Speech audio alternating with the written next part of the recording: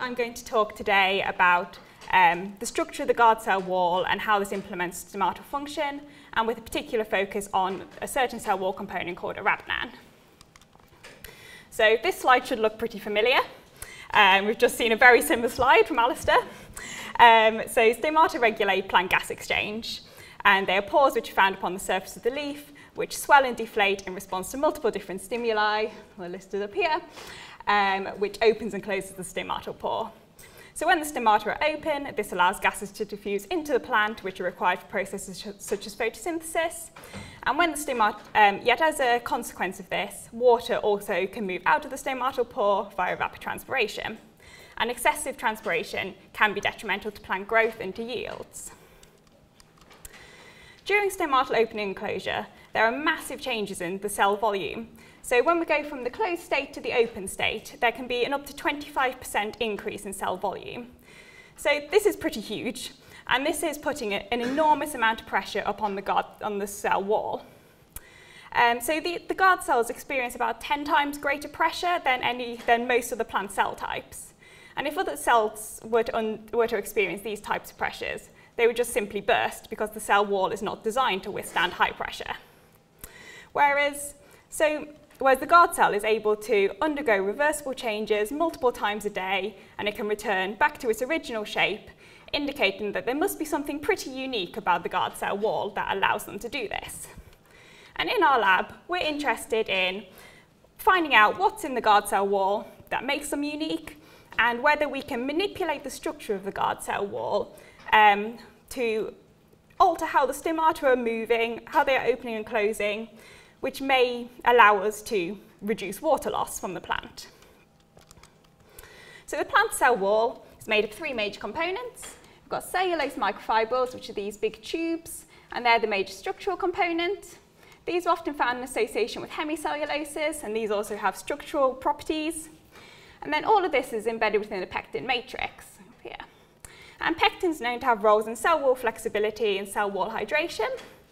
Um, so we think this is a good candidate for looking at guard cells, as we know the guard cell's wall must, needs to be flexible yet strong to allow it to do this shape change. So pectin comes in multiple different forms. Uh, there are five different forms found within the plant cell wall. And previous work in our lab have looked at, looked at this form, the HG, and found that altering the substitutions on this form of pectin alters stomatal function. I know Paige, who's here, has looked at this form, the RG2. You should look at her poster later on. And that also has implications in stomatal movement. And we are now interested in moving on to RG1, or rhamnogalacturonan 1. So this is just a simplified diagram of the previous one I, shown, I, sh I showed, uh, but with only the parts that I'm particularly interested in. So this is RG1, we've got a backbone structure, and then coming off it, we've got these side chains. And these are a cell wall component called arabinan. Um, so arabinan can come in multiple different forms. We've got short chains, long chains, and these chains can either be branched or linear. And there has been some previous work done looking at the role of arabinan in stomatal function. So um, in 2003, it, the Jones uh, McQueen Mason group showed that if you remove the arabinan side chains using enzymatic degradation, then this impairs stomatal function. And it's proposed that the arabinan side chains act as spaces between the pectin backbones. So here they are preventing the two pectin backbones from getting too close together.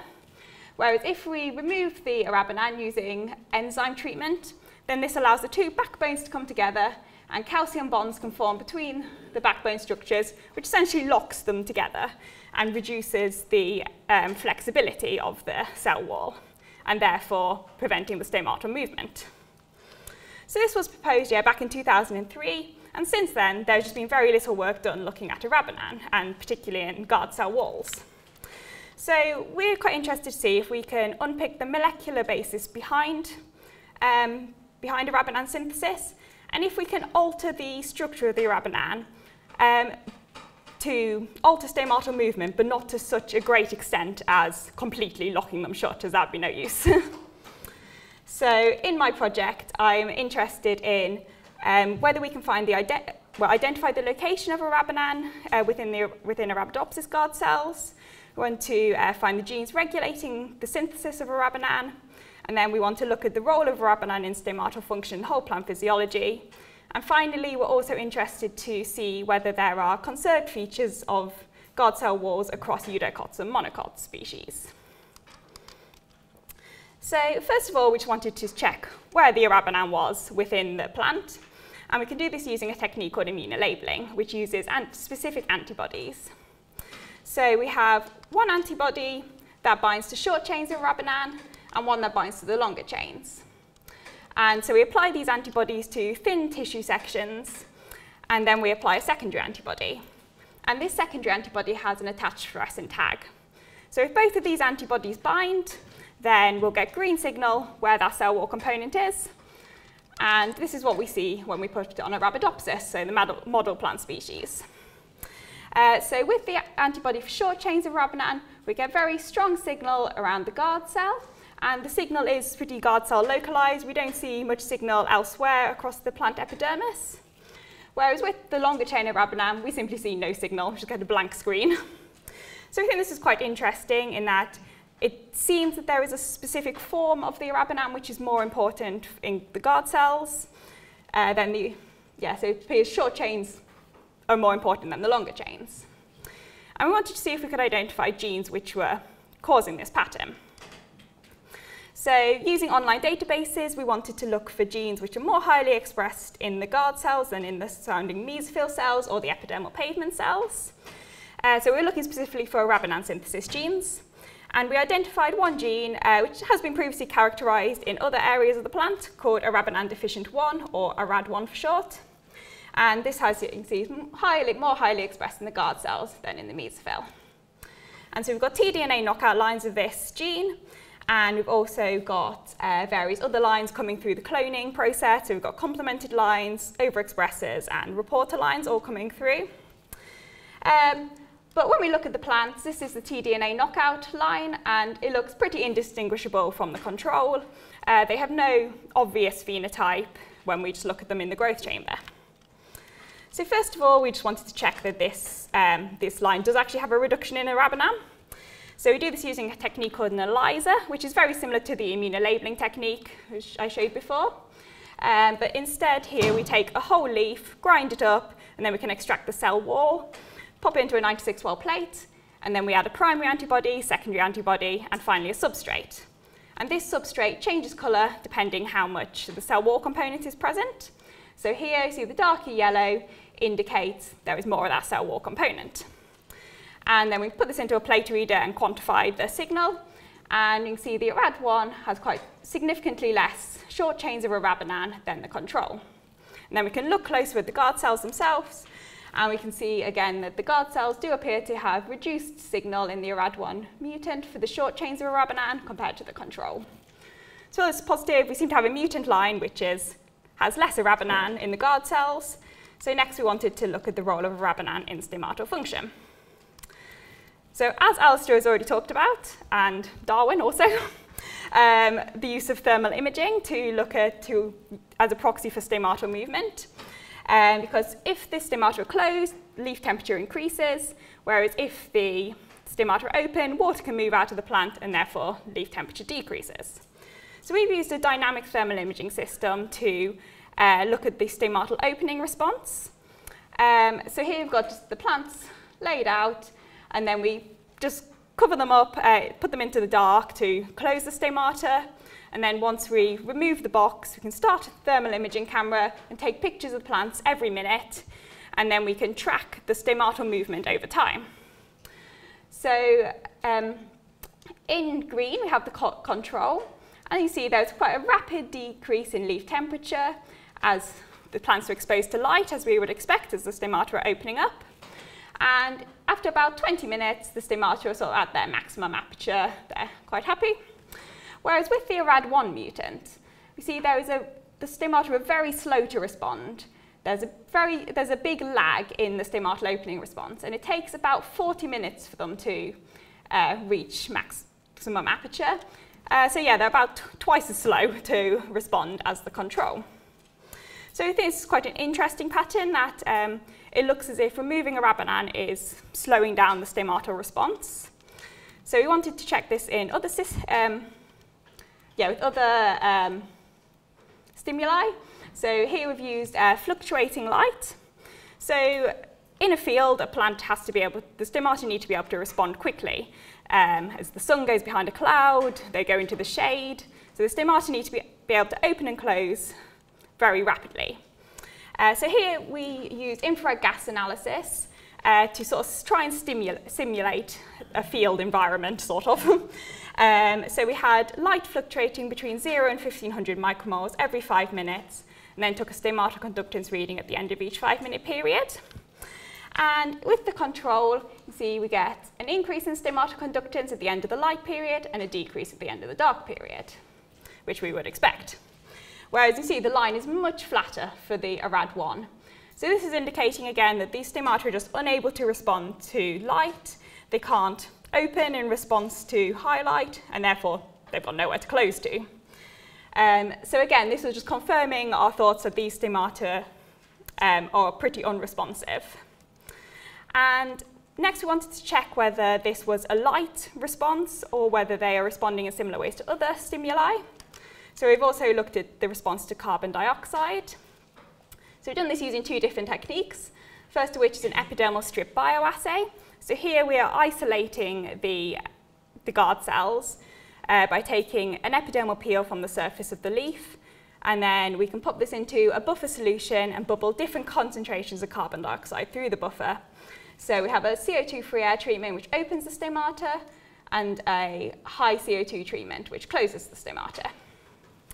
And as you can see, the ARAD1 under low CO2, again, is unable to open its stomata as wide as the control.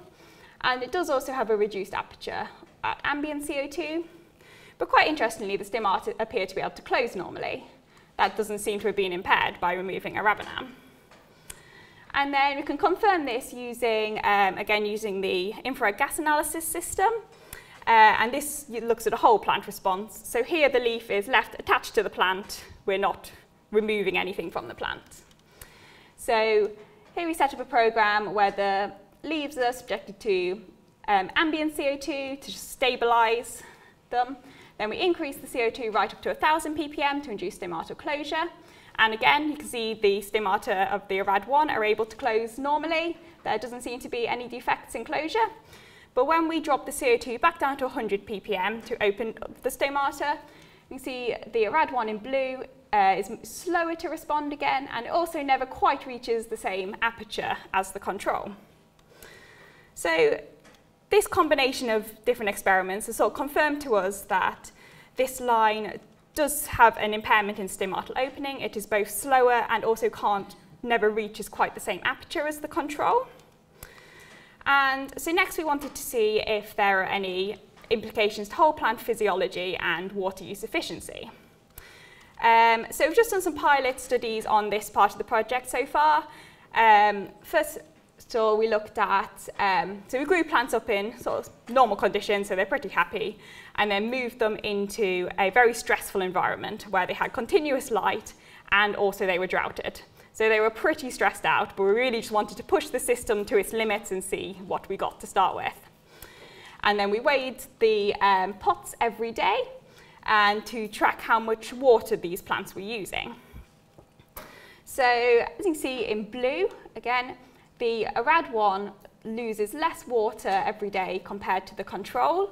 And we hypothesize that this is just because if the stomata aren't open as wide as the control, therefore less water can move out of the plant. So we, we've got lots more plans over the coming months to uh, look into this further, uh, to look, in, look at different stimuli, um, different concentrations of, say, light, CO2. Uh, but as an initial look at this, we're quite excited, looks quite promising. And this just takes me on to the final part of my project. Um, so I'm just going to talk quite briefly about um, whether guard cell wall structure is conserved across eudicot and monocot species. So all of the work I've presented so far has been from this plant here, Arabidopsis, which is an example of a eudicot species. Whereas we've got this whole other group of plants uh, called the monocots. And in particular, I'm interested in the grasses, the Poaceae. So most of the agronomically important plants are in this, are in this group of plants. So everything like wheat, rice, maize, they're all yeah, monocot species. And they look very different. And also, if we look at their stomata, their stomata look very different. So the shape of the stomata varies between these species. Uh, have your textbook guard cells, um, whereas the monocots have dumbbell-shaped guard cells, and they also have two surrounding cells called subsidiary cells. Um, so these are an example. This is Brachypodium, which is a model monocot species, quite closely related to wheat. Um, and it's been well documented that the general cell wall structure of these two types of plants varies. So they both contain lots of cellulose, uh, but the amount and, well, the form and the abundance of the hemicelluloses and pectin varies between them. But what's not really known is whether the guard cells of these two types of plants, whether they have conserved structures, whether they have this, a similar cell wall composition, or whether there is variation between them, so whether they stick more to the general pattern we see within their plant type.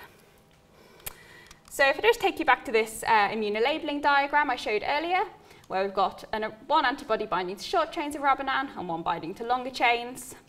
And when we look at the uh, a comparison between eudicots and monocots, so between Arabidopsis and Brachypodium, we see some similarities and some differences. So take back, so Arabidopsis, we see this strong signal in the guard cells with short chains and no signal with longer chains. Whereas when we look at Brachypodium, this monocot species, again, we get very strong signal in the guard cells and we, with the short chains, and we also get signal in the surrounding subsidiary cells. Um, so this is yeah, quite a similar pattern looking to the Arabidopsis. Uh, but then when we look at the longer chains, we see there is signal in the guard cells with the longer chains, but nowhere else. So this is quite an interesting pattern. It appears that there are differences in perhaps the importance of different forms of arabinan within, between the monocots and the eudicots. And we've been trying to develop some Brachypodium mutant lines to further look into these patterns, but they're still an ongoing project, so we can't really look any further at this at the minute, but hopefully in the future we will. So just in summary, um, we found that the genetic modification of the Arabidopsis ARAD1 gene impairs stomatal opening, yet stomatal closure is unaffected. Um, Arabidopsis plants deficient in ARAD1 perform better under drought conditions when other environmental conditions are stressful. And both Arabidopsis and Brachypodium guard cells are enriched in short chains of arabinan, uh, yet the distribution of longer chains of arabinan seems to vary between these plant types. So with that, I'd just like to thank uh, my supervisors, Andrew Fleming and Julie Gray, uh, all these people in the lab for their help with various different techniques and parts of this project, and Shashank Paul Knox from Leeds University who supplied all of the antibodies that we use. And thank you for listening.